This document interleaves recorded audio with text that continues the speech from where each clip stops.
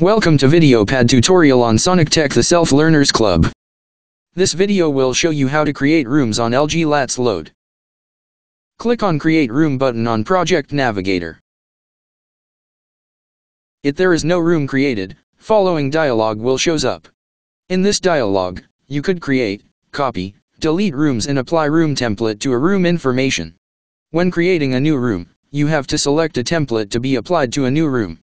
At this time, you also create or modify room template by clicking Set Template button. Enter room width and length. And you can choose if you want to calculate this room or not, and if this room lay on carpet.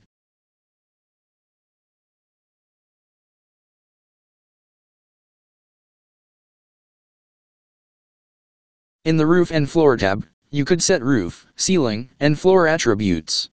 By default, a room template information you specified are displayed in the dialog.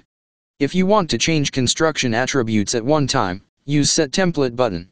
Roof corresponds to external load, ceiling, and floor corresponds to partition load.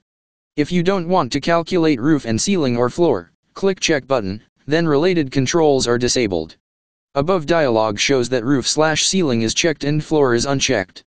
So LATS load engine will not calculate floor as partition load. If you don't check adjacent space temperature, LATS load engine will regard outdoor temperature as a adjacent space temperature. If you check it in input temperature, the specified temperature will be a adjacent space temperature.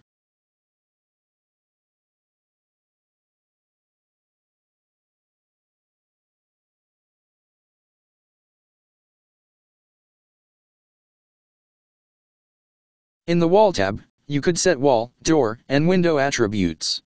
By default, a room template information you specified are displayed in the dialog. If you want to change construction attributes at one time, use Set Template button. If you check partition, the wall will correspond to partition load. Otherwise, it will correspond to external load. When it is partition, adjacent space temperature has the same meaning at roof and floor tab. Door and window belong to wall, and consequently partition load and external load is decided according to a wall. There are two choice in specifying area of them. If you check wall area, you have to input percent that occupying in the wall. But if you don't check length, width either, wall area, LATS load engine regard a wall has no door or window.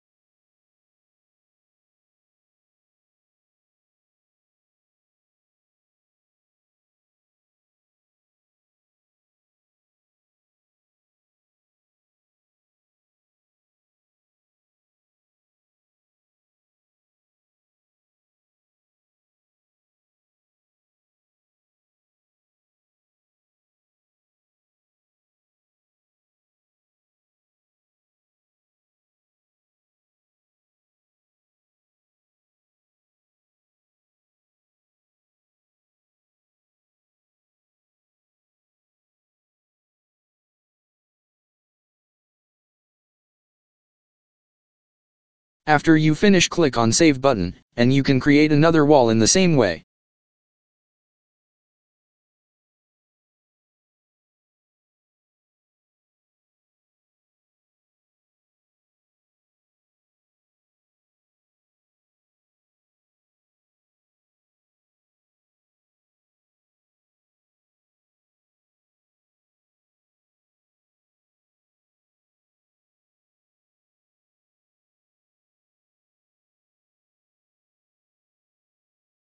Set the interior conditions.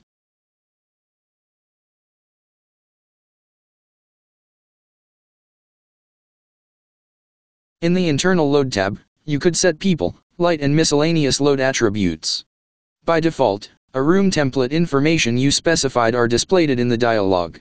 If you want to change internal load attributes at one time, use Set Template button. Especially, you have to set operation schedule, start hour and end hour.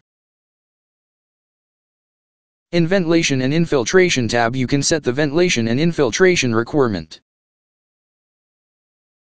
After you finish click on Save Rooms, and you can create many rooms in the same way.